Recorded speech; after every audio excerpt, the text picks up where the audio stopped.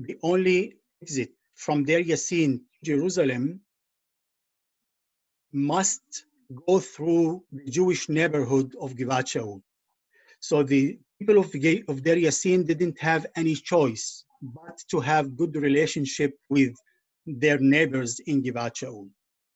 We know now, we have a document that was uh, uh, um, um, uh, Dr. Ariela Zulai wrote about it, uh, um, an agreement that was signed between the people of Deir Yassin and the people in Givat Shaul in January 1948.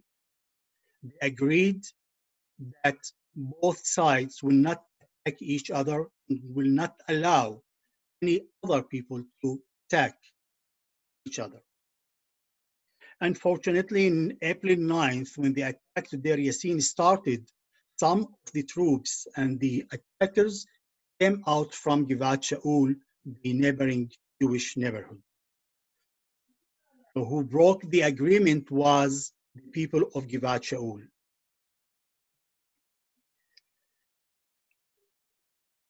The, uh, um, the, the, Palestinian families were expelled to the area of the West Bank and East Jerusalem.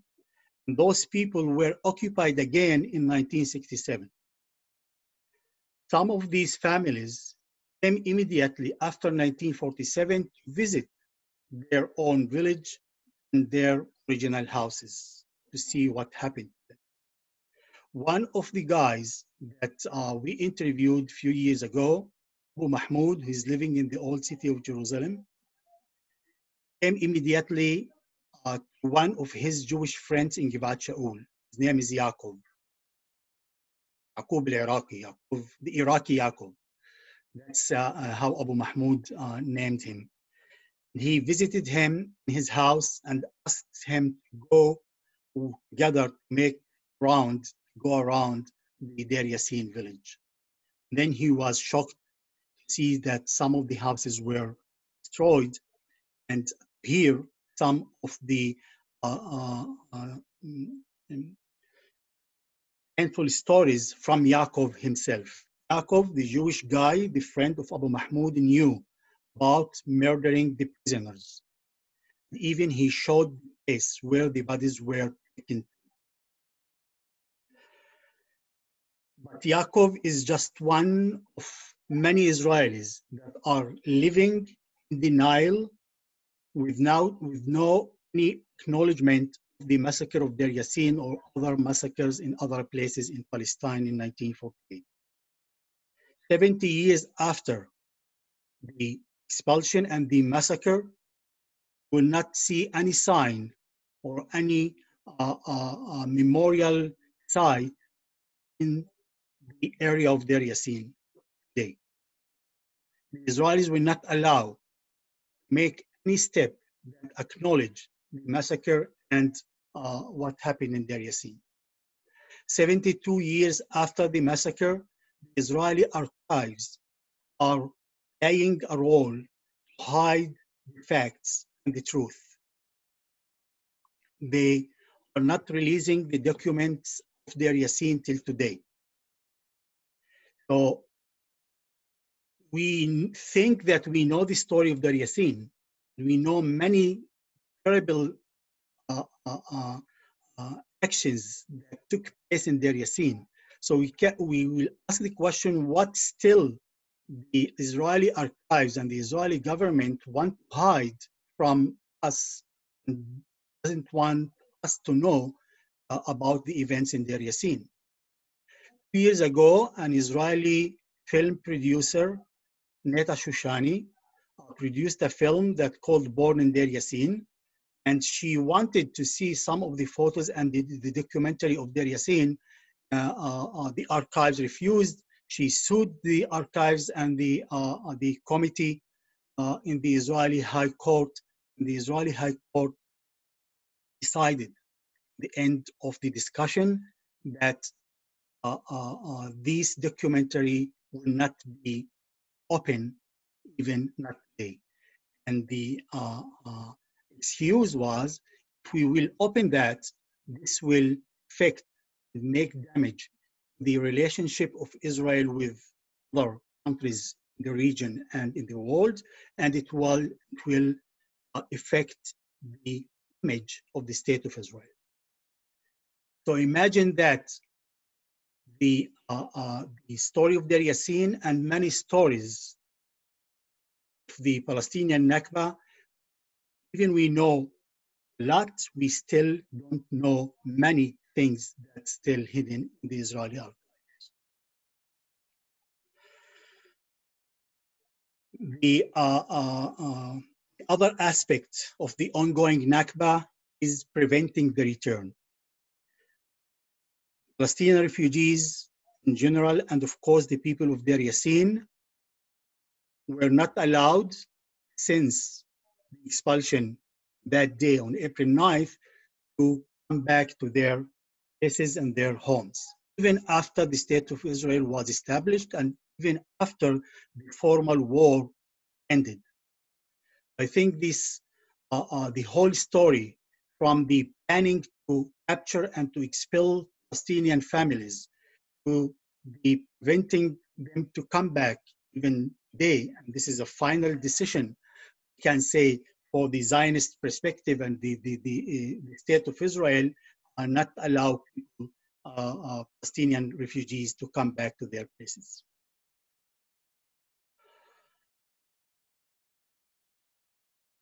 Um, okay, I will try for the last time just to show some the photos and the maps and we'll see the hacker, if he's still here or she's still here, what they can do.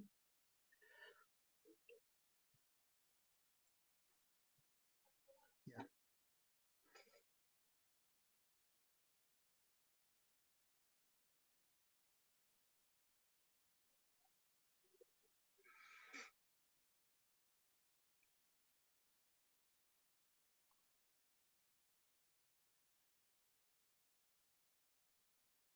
Oh, okay. I'll go very fast with this. Uh, uh, this is the a map from 1870. The location of Deir Yassin is five kilometers west to Jerusalem over here.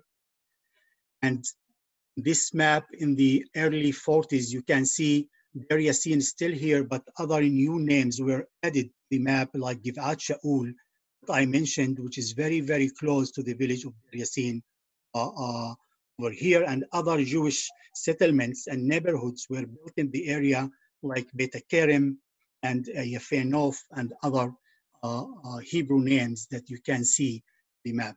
But again, you can see the Yassin uh, uh, village and Palestinian neighboring village, Kalunia and Ain Karim, Lifta, Malha, Al Jora, all of them were occupied and expelled in 1948, not only Deir Yassin.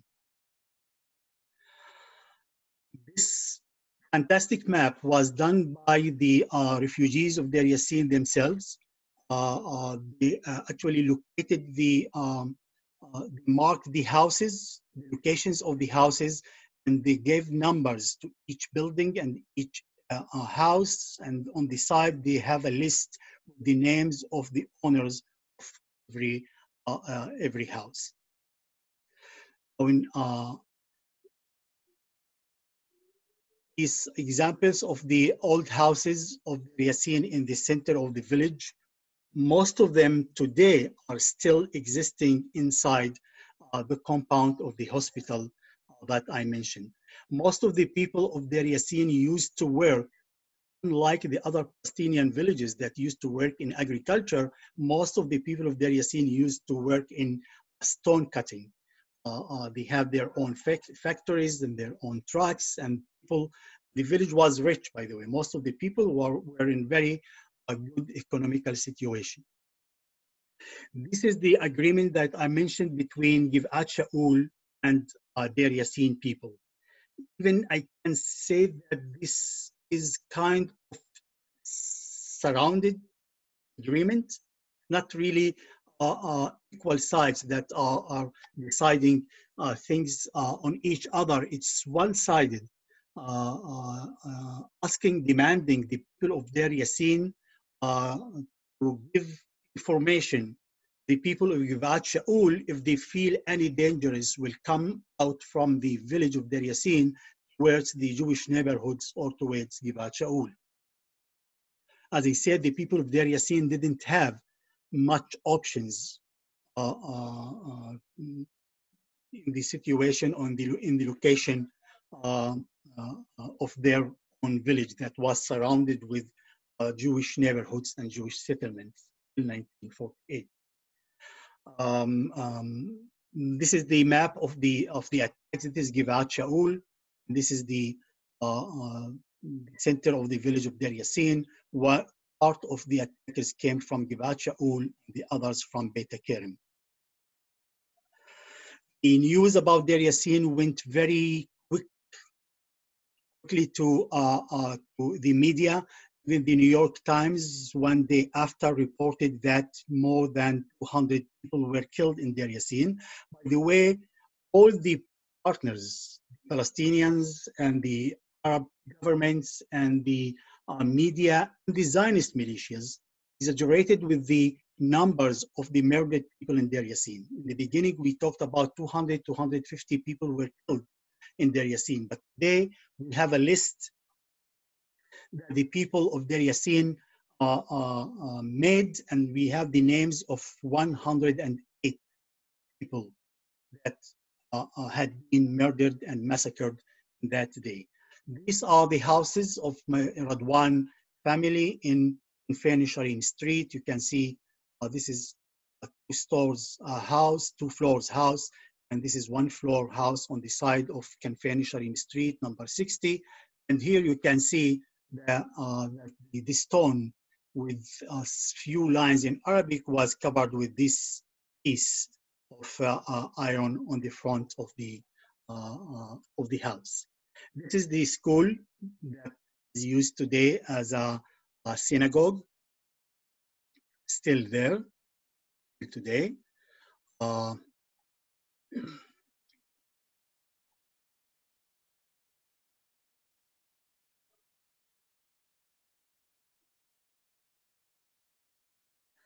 uh, this is a house, uh, again, part of house in Kanfei Nesharim 37 belongs to the family of Zainab Aqil Ahran this lady uh, took part in our uh, tours for uh, uh, three or four years.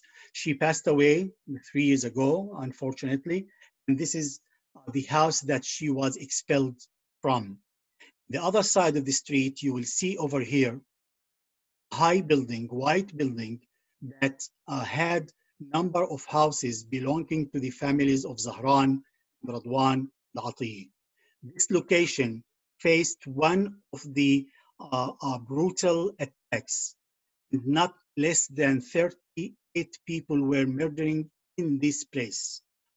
All of them members of civilians, of families, uh, old people, men, uh, uh, and children and women. I just want to have a few minutes of uh, respect to the victims of Deir Yassin by reading some of the names of the people who had been murdered in this area. Uh, this is the list that the people of Deir Yassin uh, prepared with the names of the uh, of the people had been murdered.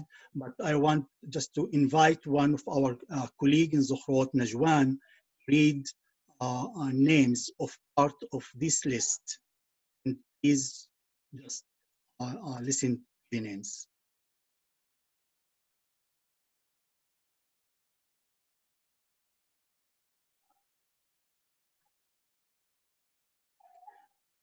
Najwan, you can unmute yourself.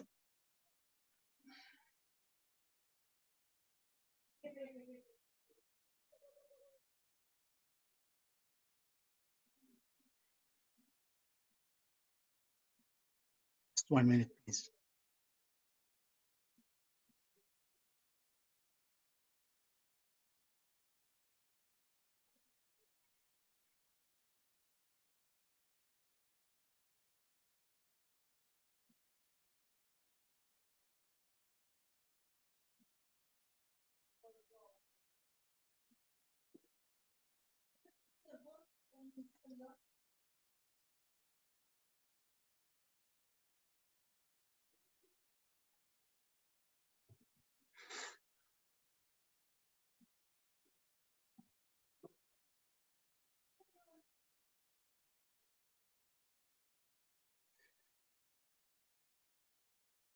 Okay, I'm sorry, I, I don't see that. I will read the names. Uh, allow me. Um, if we were not attacked.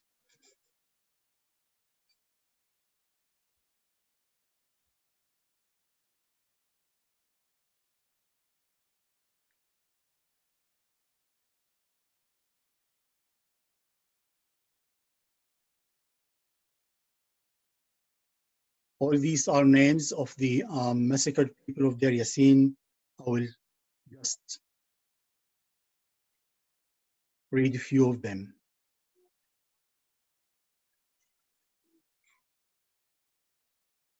فاطمة عيد الحاج محمد زهران حمدة زهران فاطمي حبسة علي محمد زهران محمد علي محمد زهران محمد موسى زهران زينب محمد حسين المالحية اسمية موسى زهران داوود موسى زهران سعيد موسى زهران فاطمي جمعة زهران صفية جمعة زهران فتحية جمعة زهران فتحي جمعة زهران أسرة جمعة زهران ميسر جمعة زهران.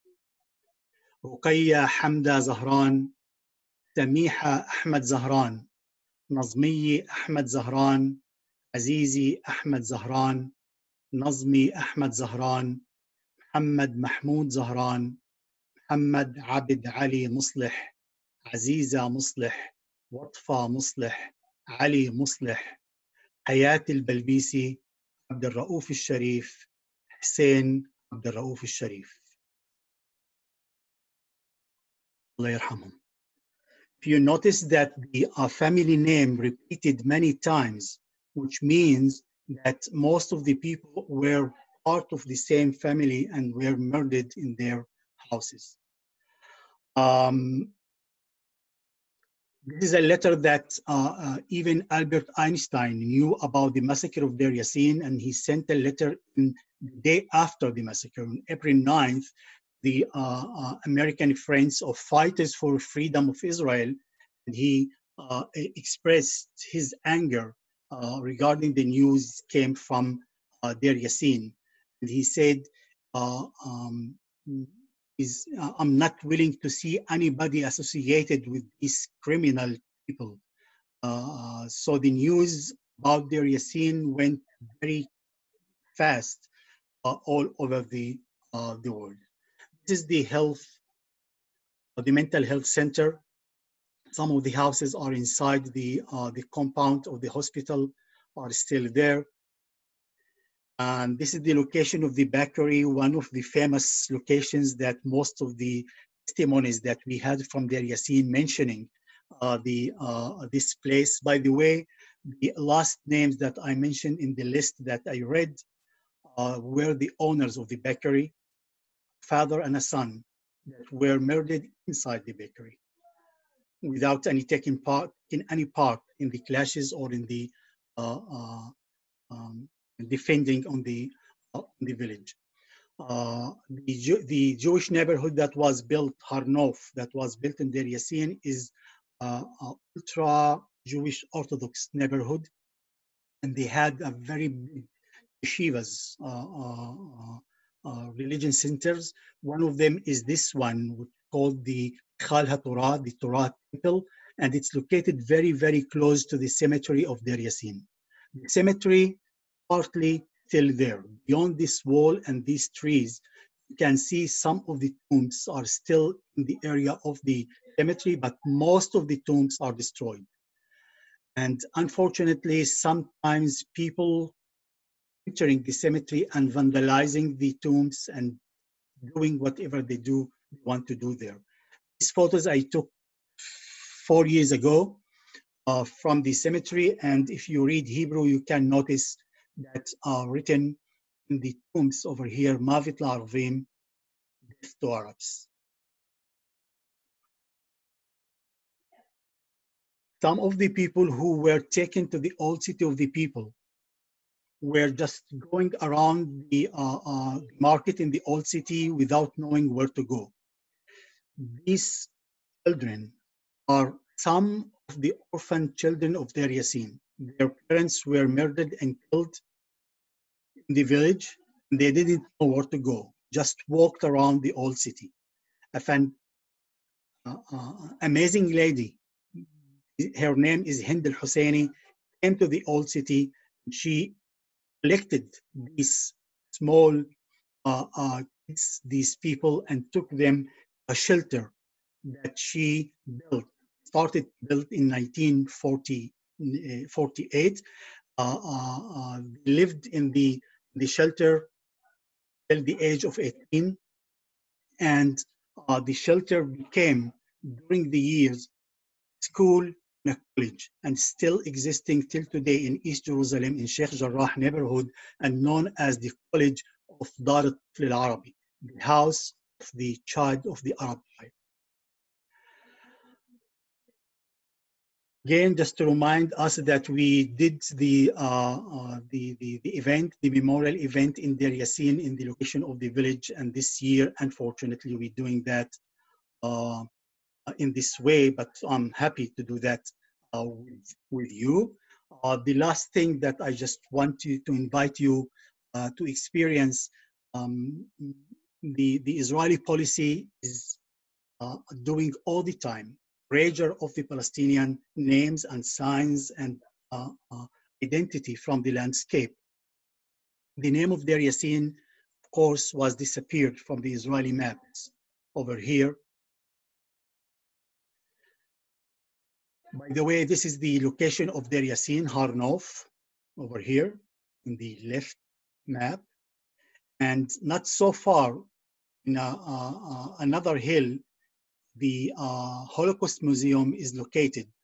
You can observe Deir Yassin from the Holocaust Museum and you can observe the, uh, uh, the, the, area of the museum from Deir Yassin. But you will not see, as I, I said before, any mention of Deir Yassin in the, during the tours that people do in the Holocaust Museum.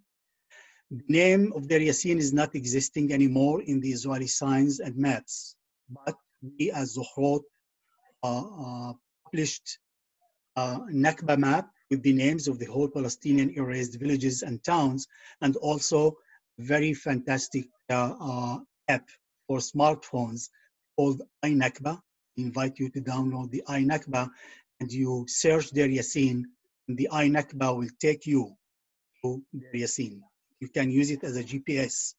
This will be the only GPS that is you is not existing.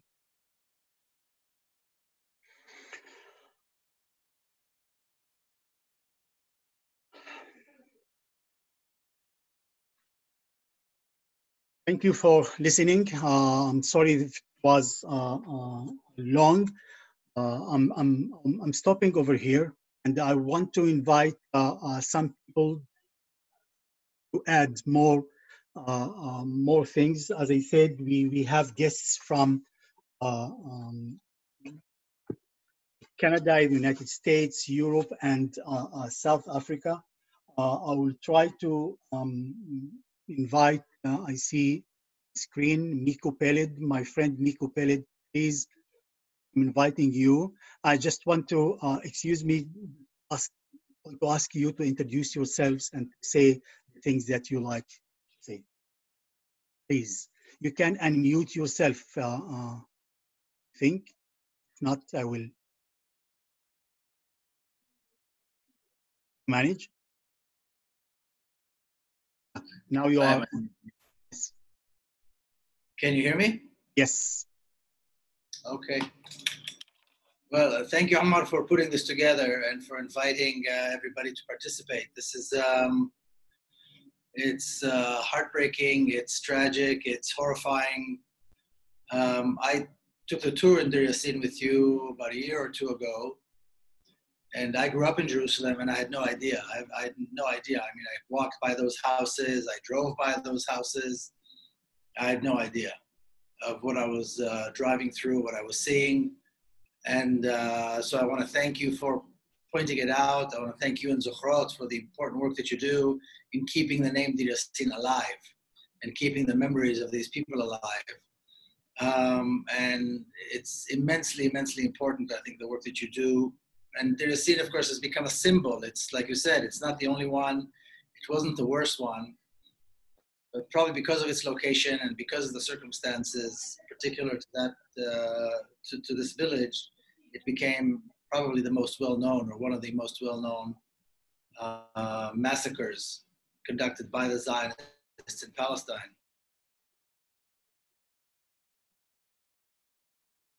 The people, you know, some of the children, some of the women and children that were displayed and then dumped in the old city and um, and taken, uh, which became an orphanage, I think, in the beginning, um, are still around somewhere and they're still alive and they probably have children. Um, and I think it's incredibly important that they know that there are people out here who are who remember this, who talk about this, who won't let the, the memories of their family village be forgotten. Um, and so again, I, I can't I can't overemphasize how crucial and how important this is to keep talking about it, to keep the name Yassin alive, to take the tours, to put the signs. I know you go throughout the country put signs in different places. Yassin is probably the hardest one because it's really in the heart almost of Jerusalem. Um, and it's probably the most, um, of, of all the massacres, of all the events, it's the one that they choose to forget more than any because it's right there, sitting there like, like a sore um, and you know, I went on the uh, website of the of the mental hospital, and you can see the inside. You can see the houses on the inside, and it's really beautiful. Uh, the houses, it's it's really fantastic. It's beautiful, beautiful Palestinian homes, beautiful Palestinian uh, neighborhood, and it still exists. And it's uh, like you said, the, madness, the absurdity, the callousness of of, uh, of establishing a mental institute or, or a healthcare facility in that particular place. You know, in the movie uh, 1948, Creation and Catastrophe, they actually interview some um, some of the um, survivors, and particularly someone who saw what happened in the bakery. You mentioned the bakery and how they threw the father and son into the oven and so forth. A man who actually saw it and he's describing it and he's crying and he's in tears. Um, but you know, at the same time, I think Deir Yassin never stopped, never ended. Um, it wasn't the first, it wasn't the last, but because of its name, it's like every time there's another massacre, it's going back, it's Deir Yassin happening again. So whether it was later on in Kufr Qassam or in Kibia or in Gaza or in Lebanon, Sabra and Shatila, Jenin, it goes on and on. Um, Gaza over and over again, every time there's a massacre, it's Deir Yassin is being killed again. It's like the people of Deir Yassin are being destroyed again. They're being killed again because many of these massacres, the later massacres, uh, are take take place and uh, in refugee camps. And so these are refugees who have already run away, who've already escaped and managed to survive somehow the ethnic cleansing and the genocide. And now again, they are being killed again and again and again. And it's like Israel this this horrifying you know entity this criminal entity wants to kill and kill and kill and kill until the memory completely dies away. And of course the memory is not going to die away because palestinians won't forget. Thanks to you omar and the work that zochrot does and the rest of us here i hope we won't let it end and we won't let it happen. And um, you know it's very difficult to talk about this and not uh, use terms like genocide and not use terms like ethnic cleansing, which you've used, which I which I agree with, and uh, not recognize that what Israel has established in Palestine these crimes. Miko, the what has happened happening in Palestine for more than 70 years. The line is weak. The definition of the crime fits. And so it's important that we that we that we use these terms. It's important that we talk about them and we say this. And I'll just end by saying maybe two things. You know, I wear this button always when I'm in public, when I when I'm at events. I asked you for permission to make sure it was okay with you. Um, I think it's incredibly important that we act. In other words, what is happening in Palestine today is a continuation of Deir Yassin. It never stopped. The massacre, the killing, the the horrors never, never stopped, as, as you know. And so by standing with the Palestinian call for boycott, divestment, and sanctions, by by supporting the Palestinian call for boycott, divestment, and sanctions against Israel, we stand with these people. This is what we have. This is the way that we protest. This is the way that we show our, our we participate in the resistance against these horrors, against these crimes that are continuously and constantly being committed against the Palestinian people. And um, a last note that I'll say, one last thing, you know, I think you, you the campaign that Zochrot has about the return, imagining the return, I think it's a wonderful initiative, and I think it's an initiative that everybody needs to join and, and promote because the return is really the key to, to, to bringing back justice to Palestine. Without the return, there will be no, uh, there will never be justice. Certainly, there will never be peace between the people in Palestine, Israelis and Palestinians. So I want to encourage everyone to look into the plan that you have and to and, and to and to support it and to talk about the return, not like it's some you know crazy idea, but like it's a very practical and real and necessary uh, action. So once again, um, thank you very very much for for this. Omar. Thank you, Nico. Thank very you very much. much. You are talking with us from uh, uh, Washington, right? Yes, Washington D.C. Yes. Yeah. Okay. Uh, we are also honored to have with us, say, Abby Martin. Is she here? I don't see her on my screen. I don't see her either. Don't. Okay, so now uh, we will go to South Africa, to Cape Town, Heidi Grunebaum.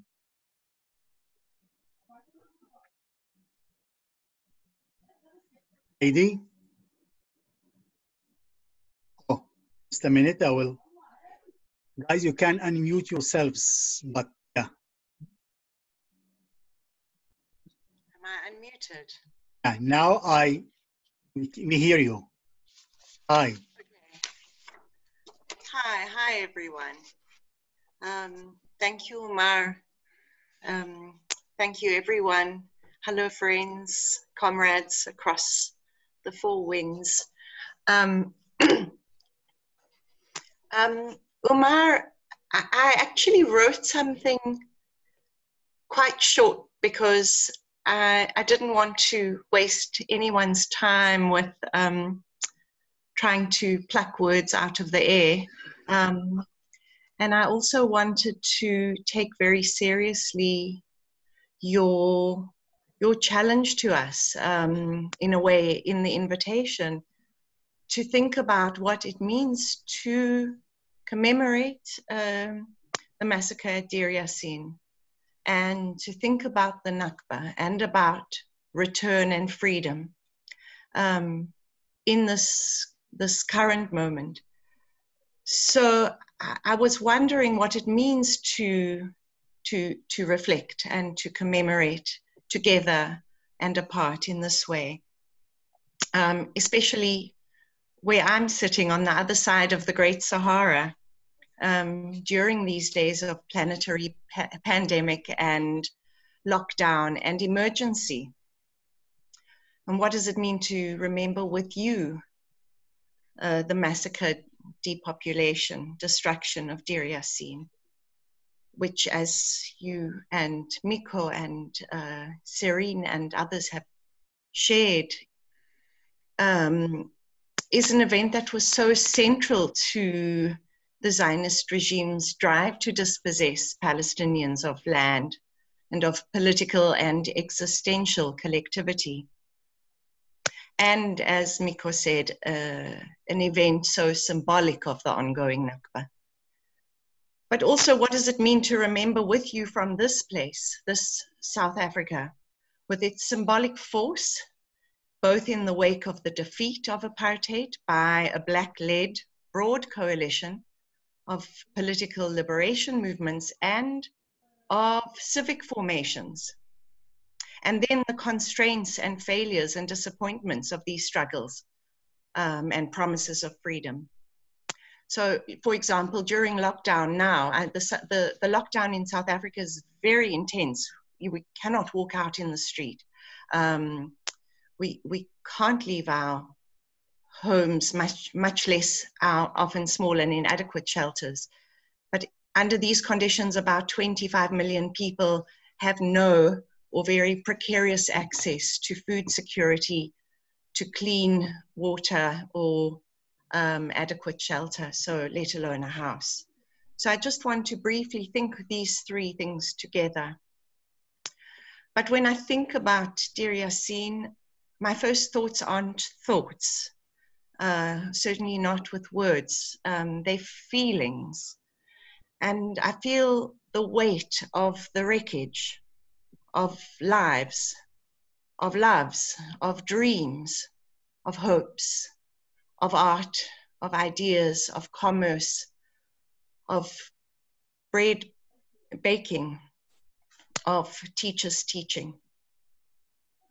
The destruction of a place that all the people of Deir Yassin called their home in the world that was destroyed that day, which is to say, on this day in 1948. I, feel also the weight of the layers of denial and erasure, the force of historical revision that continuously attempt to bury the fullness uh, and historicity of life in Palestine, of Palestinian life. These forces are particular to the Israeli regime and practiced with a particular and cold hearted cruelty, but they're also particular to other settler colonial regimes and paradigms, such as South Africa, Australia, the United States, and Algeria. And I have to say, increasingly, it seems as if Israel is moving closer to the United States paradigm, even away from South Africa's. These, these forces are important because they're also features of the current world system, which has condemned us all to live in a perpetual present, devoid of history, emaciated of other memories of the future, of other memories for other futures and other politics. But the condemnation of these forces of de- for denial affect those who are powerful, empowered, and or dispossessed in very different ways, as the descendants from Deir Yassin and all of the Nakba villages from 1948 until today know across generations and in places near and far. In the system of knowledge that has shaped these forces of denial, race, gender, sexuality, class, citizenship, nationality, species, even, all forms of life, are taken to be separate and they organized in a kind of hierarchical scale of difference. So the system of denial incessantly wipes away the traces of memories of other possibilities, of living in interconnected ways. Other possibilities, such as the ones that are so, so tenaciously pursued and at a very high price, nonetheless, by Zochrot, by many people here, um, and by activists, intellectuals, and artists across Palestine, Israel, and its diasporas. These are non partitioned pa- paradigms, and they draw on histories of joint struggles, sometimes shared and sometimes not shared histories of struggle, too. And so, for me to reflect in this time with you and it's a great and very humbling honor, and I'm very moved um, and trying to hold my emotion together. Um, in this time of planetary pandemic and emergency from South Africa to Palestine, Israel, and beyond, is to glimpse a longer history and present of colonial catastrophe, pillage, and destruction but also a longer history of hope and resistance. It's to give, it, it gives a glimpse of the possibilities of a much longer arc of many people's struggles across the world that have come before. For now, the pandemic has disrupted the incessant work of that paradigm of denial and of hierarchy and separation it's opening up a, window of opportunity for us to commit across the world. across divisions that we take as normal to a vision and practice for a different future of life. And I, think many people in South Africa share with me this idea that in so many ways the Palis- a Palestinian-led joint struggle for freedom, for freedom for all, for conditions of life that support all life, for a political future based on a different practice of politics is the way towards a future, not only in and for Israel, Palestine, Palestine, Israel, but for us all and for the planet. So, Umar and comrades and friends, I send you my love and solidarity in struggle and my recommitment. Thank you for having me and sharing with me. Thank you very much. Thank you, Heidi. Yeah. Thank you, Heidi. Thank you. Oh, okay. Uh, we, um, I'm honored to invite uh, Mr. Chris Williamson from London. I will unmute. Yes, can you hear me? Hello, can you hear me? Yes, we do. Ah, thank you. Thank, thank you very much indeed. It's, a, it's an incredible honour to be invited to say a few words today, and uh, I just want to really articulate and express the the same view really that Heidi just did about how incredibly moving it was to listen to the horrific story about what happened at uh, Deir Yassin. And I think it's so important that we never forget what happened there and all the other atrocities that have been perpetrated against the Palestinian people. And I think events like this are key in helping to spread the word. And one of the things that I will certainly do having uh, heard your presentation today, is uh, use my platform, such as the art, on um, social media and, and, and other methods of getting the message out to spread the word about what's what's happened. And so I want to express my solidarity with you, with the Palestinian people. And I think it's also important that we acknowledge that certainly in the United Kingdom that uh, anti-Semitism has been weaponized by the Zionists to try and silence voices of solidarity with the Palestinian people. And it's had some impact, I've got to say, inside the Labour Party, my former political party. I was a member of the Labour Party, and partly because of my solidarity with the Palestinian people, I was targeted. But I don't regret that because it's always important, as, as um, Martin Luther King once said, it's always the right time to do the right thing. And I always believe that it's key that we show solidarity when it's difficult, not just when it's easy. And it's disappointing that the new leader of the Labour Party, Keir Starmer, has, has really backed the wrong side. Uh, he seems to have come down on the side of the Zionists, but it's very clear from your presentation today that Zionism is a brutal racist ideology, and we therefore, all right thinking people around the world, need to call it out for what it is. And particularly people like myself who are socialists, it's absolutely essential, it seems to me, that we always identify with people who are being oppressed. And it's very clear the Palestinian people have been oppressed now for 70 odd years. And uh, we mustn't rest, we mustn't give up that fight to ensure that there is liberation for the Palestinian uh, people. And although the leader of the Labour Party in Britain might have backed the wrong side. The truth of the matter is that the Labour movement in Britain is overwhelmingly on the side of the Palestinian people. And support is growing for a one state solution. That seems to me to be the only way forward, really, where there are equal rights for Palestinians. I know there's been talk of a two state solution. I think that's frankly absurd now. It's impossible for that really to uh, uh ever get off the ground successfully. And I know that's Labour Party policy to support the two-state solution, but I've got to say that support inside and outside the Labour Party is growing for a one-state solution.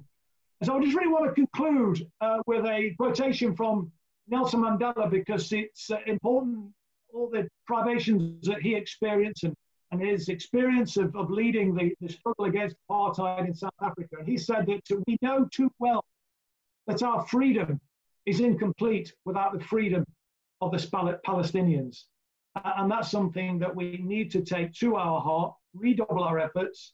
And I give you my commitment, as I've already said, that I will do everything within my power to make the case for the Palestinian people and build the support for the BDS movement because I think that is a non-violent way of bringing pressure on the uh, Israeli regime to actually stop this oppression that they've been disgracefully responsible for for so many years. So thank you again for inviting me here today and all my solidarity with you and more power to your struggle. And in the end, with solidarity, with unity, I'm sure that, that we will see the liberation of the Palestinian people.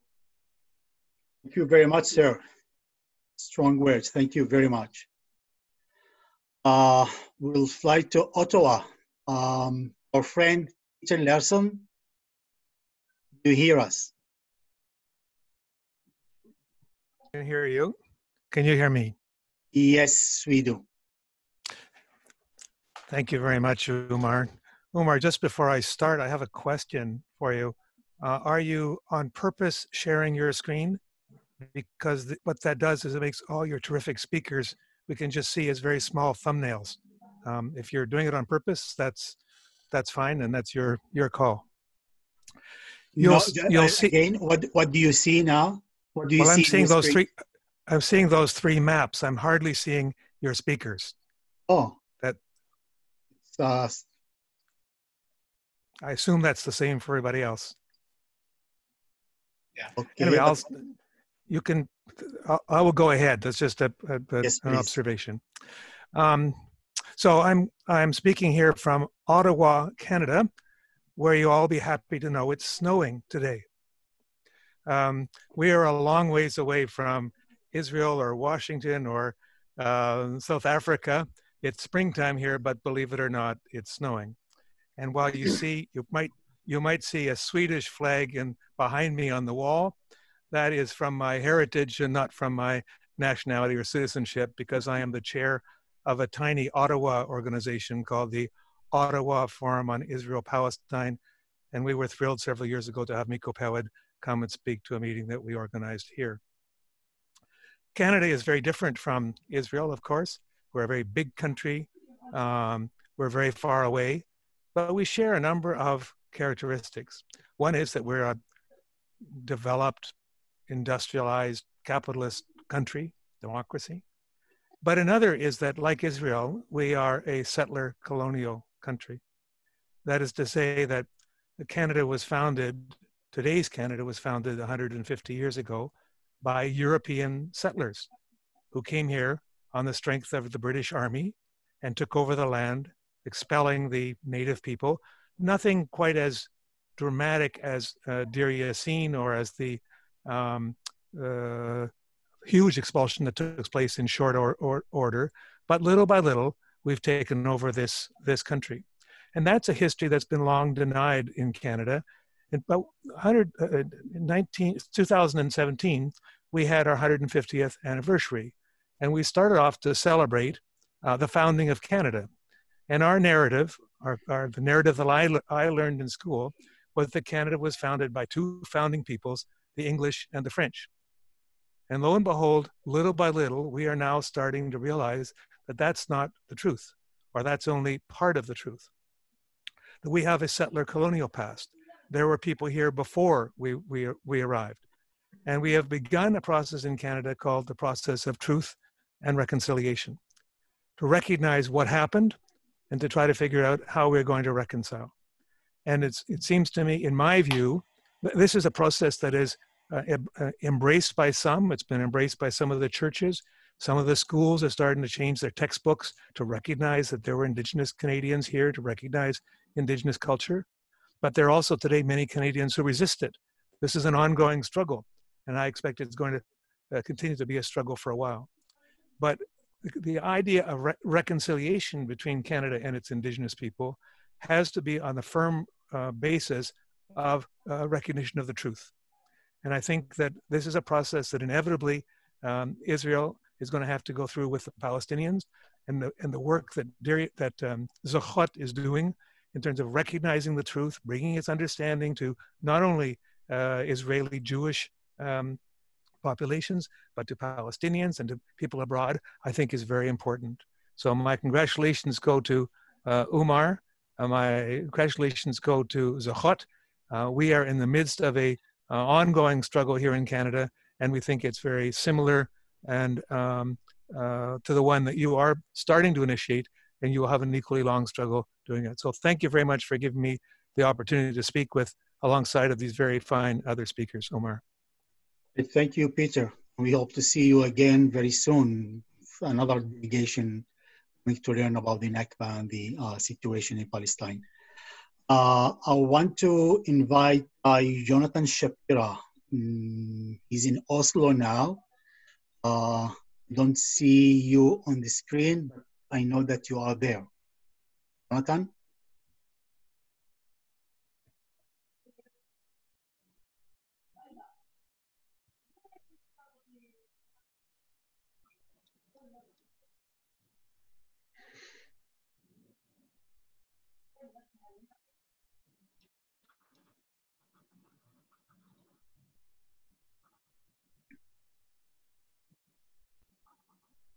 Is Jonathan there?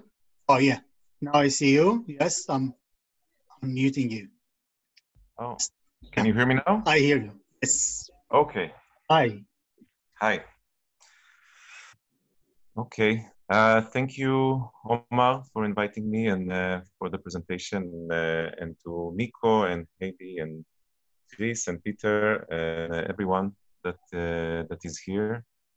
Um, we talked um, couple of weeks ago, Omar, and um, and I I think I told you that let's take advantage of the Corona epidemic uh, and and make this event uh, international on Zoom. So I I'm really happy that uh, it worked out, and I think we have uh, several dozens of people all over the world, and that's uh, warming my heart.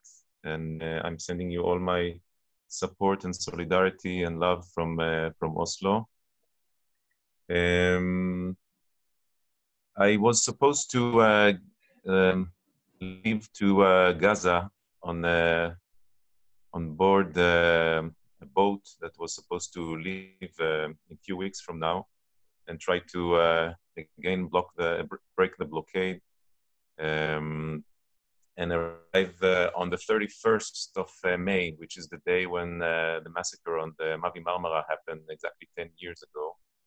Uh, obviously, because of the corona, the, the sail uh, is delayed.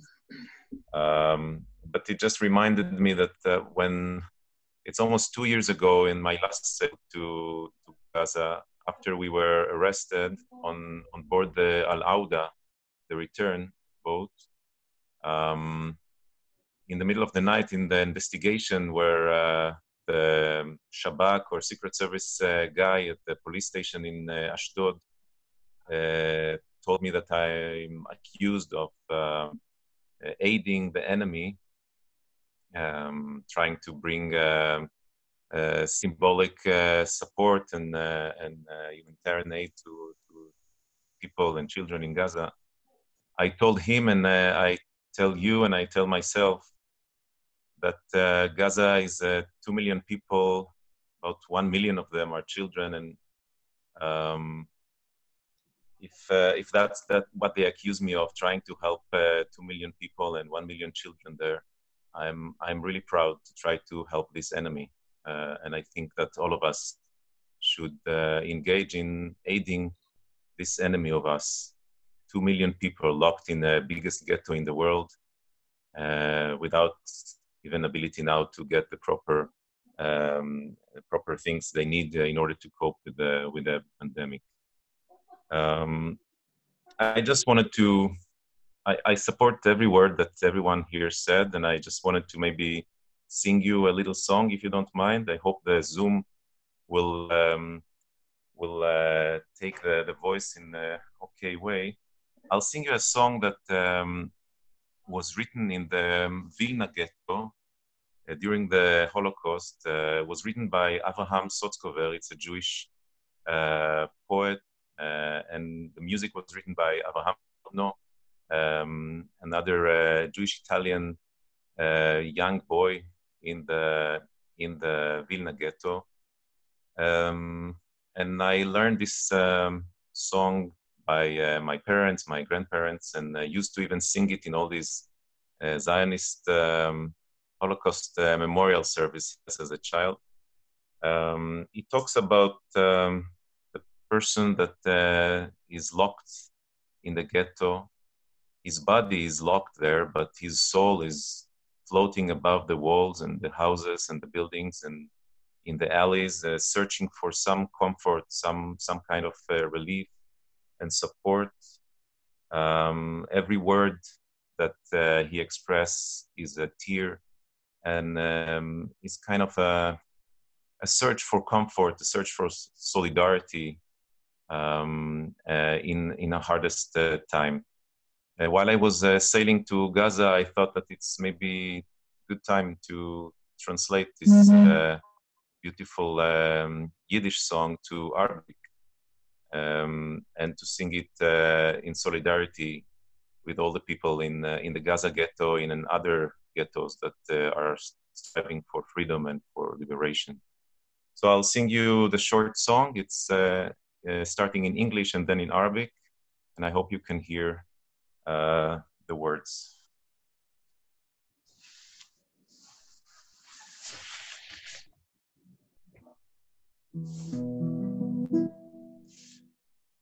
Unter deine weiße Sterne streckt zu mir dein weiße Hand.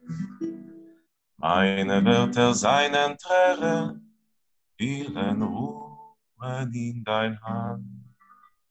Sähst dunkelt welcher Finkel in mein Keller dicken Blick und ich hoff, noch nicht kein Winkel, sie zu schenken dir zurück. Und ich hab gar nicht kein Winkel, sie zu schenken dir zurück. تحت نجومك البيضاء مد لي يدك كلماتي هي دموعي إليك صلاحا 온돌이 라우유니 가마다 바리고바 나이살리 주아운누리 아흐메루후 마이르하 나이살리 주아운누리 아흐메루후 마이르하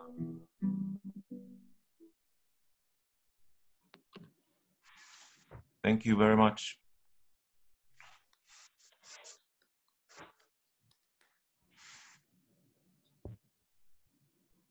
Wow. Thank you, Nathan. um, sorry. Uh, okay, I just want to check again if Abby uh, Martin with us. If not, uh, just want to give opportunity to anyone who want to say something because we are uh, moving now to the uh, last speaker will be Rachel, uh, uh our Zochrot director, uh, close the, the event. But before that, if anyone of you like to say a few words, this is the time. You can raise your hand if you want.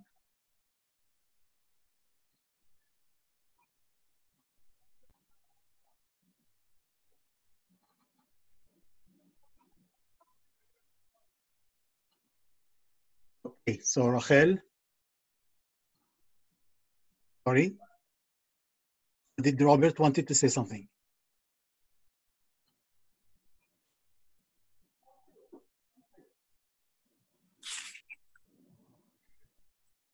Robert, do you hear me? Yes, I, I can speak now. I just want to say a couple of things about life in general. I'm in California, and the people here are incredibly uh, ignorant about uh, the Israeli conflict with the Palestinians, and uh, they mostly have just a incredibly uh, deep work ethic to save and acquire possessions and are only disillusioned by that when they get old and die or have a serious injury. And I ask people up front uh, some simple questions to try to bring them to my awareness and about how and why the Israeli the Jews, speaking of, uh, incited uh, the Nazis to genocide to begin with, which is what started the conflict that we're in. And I, I guess it's the protocols of Zion that were introduced by Herzl that stirred everybody in Europe up, which, which brought the Nazis into control. Uh, Sir, uh, uh, I just want to ask because the line is not clear. Just want to ask you if you can make that short. We can't hear you well. Um, I just wanted to bring out, uh, there's people around me who are incredibly ignorant about the conflict. Uh, the popular conception here is that the Jews are the chosen people, but if you talk to somebody of Jewish descent, they, they admit that they don't know what they're chosen for. And so it's my temptation just to erase that whole concept. Okay.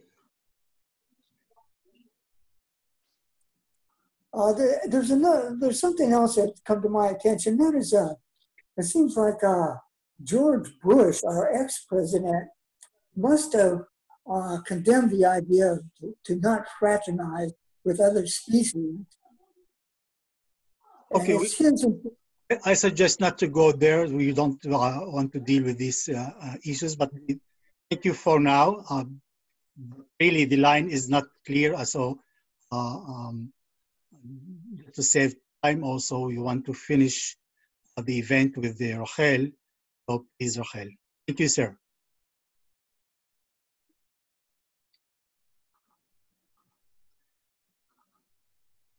A minute.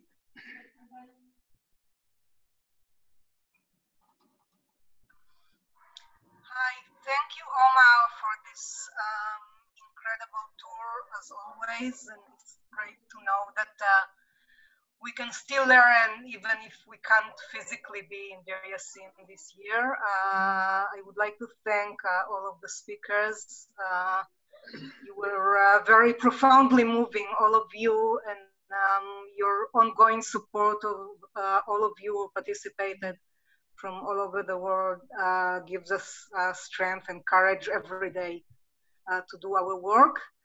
Um, and I would like uh, to read a short paragraph uh, from the Zochrot's uh, return vision uh, that is a conclusion of a work of a group of uh, Israeli um, activists who thought out uh, a political plan for return. And this is what we're here for, not just to remember, but to uh, strive towards um, a real peaceful, just solution uh, with the return of the refugees in its core. Uh, so this is just a paragraph. You can read the whole thing uh, on our website. And uh, thank you all so much. Um, here it is. We see a future in which the land will be transformed following the refugees' return, transformed for the better we envision a change that will allow a democratic society grounded in equality and freedom, a multicultural society that will express and acknowledge our Middle Eastern cultural origins and enable us to integrate in the region. This integration will also include the Jewish identity when it is no longer Zionist and racist. As a member of the Return Council, I do not want to see myself as an occupier, not to be one. We want to live in this land as equals. We therefore undertake uh, to do our utmost to reach out to our public, our communities, to call for acknowledgement of the Nakba, of our responsibility to the uprooting of most of the Palestinian people from their homeland, to recognize right of return, redress the injustice, and to do justice for the sakes of the life in, of peace and true partnership for all the inhabitants of this land. Thank you all so much. Thank you, Rachel. Uh, yeah, uh, again, I want to thank you, all of you, for taking part in this event. Uh, just to finish with uh, comments. The first, that I'm afraid that this is the only event that took place in the whole world mentioning and remembering the Yassin massacre. This is very, very sad for me. The other side, I'm so proud that we managed to do this event with you, with all of you. They will find a way to tell the descendants of Deir Yassin that we uh, uh, had about 90 minutes with wonderful people from all over the world remembering their massacre, their victims, and uh, hoping and acting for their freedom and return. Thank you all. Be in good health and good night. A good day for some of you. Thank you very much. Thank you. Thank you, Omar. Bye-bye. Assalamu.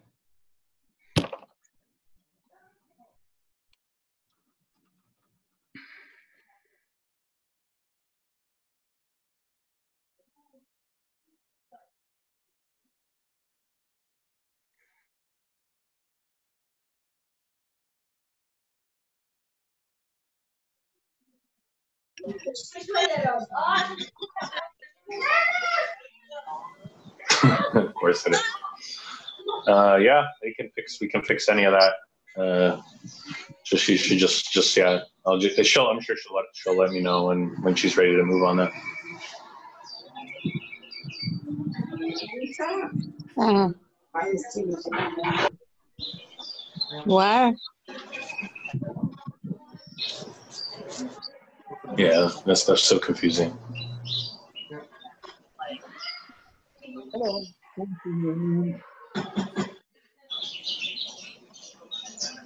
Mhm.